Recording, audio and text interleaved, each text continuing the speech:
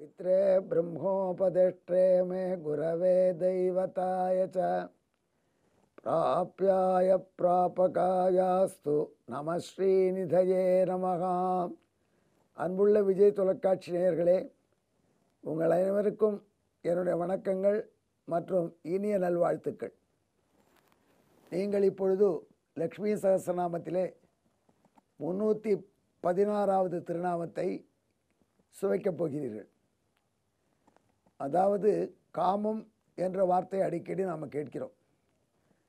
அதுவும் தற்காலத்தில் தினச்செய்தி பத்திரிகைகளெல்லாம் பார்த்தோம்னா தினசரிகளில் அடிக்கடி காமக்கொடூரர்கள் அப்படின்னு ஒரு டேர்மே வருது. காமம் என்று சொன்னால் நாம் இந்த உடலாசை என்ற ஒன்றை மட்டுமே பொதுவாக காமம் என்கிற சொல்லிலே பயன்படுத்தி வரோம்னு நினைக்கிறோம். ஆனால் காமம் என்பதற்கு ஆசை என்பதுதான் பொருள். எனவே பலவிதமான காமங்கள் மனிதர்களுக்கு உண்டு. நல்ல உணவை சாப்பிட்றாங்க சில பேர். அது நாக்கின் முழுதும் இருக்கக்கூடிய காமம். இன்னும் சில பேர் நல்ல காட்சிகளை காண வேண்டும் என்று தவிக்கிறார்கள். அவர்களுக்கு பிடித்த காட்சிகளை பார்க்கிறார்கள். அது கண் காமம். அதாவது நாக்கிலே காமம் கண்ணிலே காமம். இன்னும் சில பேர் நல்ல வாசனை முகர வேண்டும். அப்படின்னு மோப்பம் பிடிக்கிறாங்க. அது வந்து மூக்கு காமம்னு வச்சுக்கலாம் நீங்கள் இன்னும் சில பேர் நல்ல இசைகள் கேட்கணும்.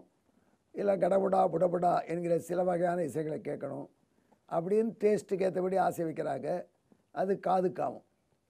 இதில் இன்னொரு காமம் தான் நாம் சொன்னவே பொதுவாக எல்லாருமே பயன்படுத்தக்கூடிய காமங்கள். இந்த காமங்கள் இல்லாமல் மனிதர் வாழ முடியுமா? காமங்கள் இல்லாமல் மனிதர் வாழ முடியாது. ஏன்னா மனிதர்களுக்கு ஏதேனும் ஒரு காமம் இருக்கத்தான் செய்யும். காமமே இல்லாமல் இருப்பது ரொம்ப கஷ்டம். ஆசை இல்லாமல் இருக்கவே முடியாது.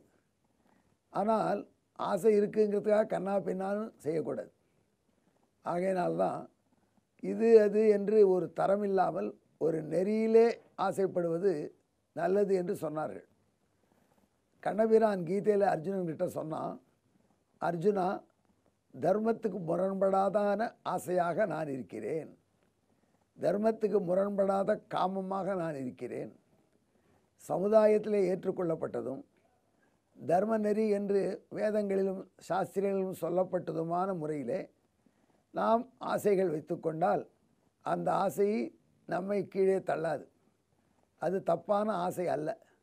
ஆகையினால தான் கண்ணபிரான் தர்மத்துக்கு முரண்படாத காமம் நான் தான் என்று சொன்னான்.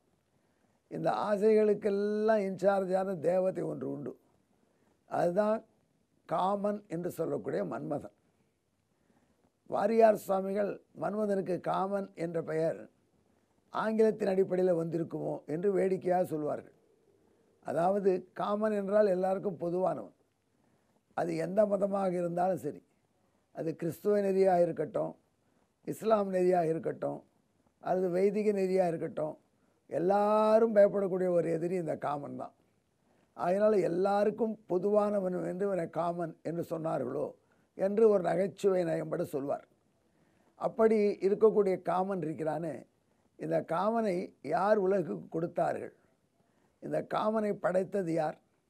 காமனுக்கு தந்தை யார்? தாயார் காமனுடைய தந்தை திருமால் என்று வேதங்கள் சொல்கின்றன.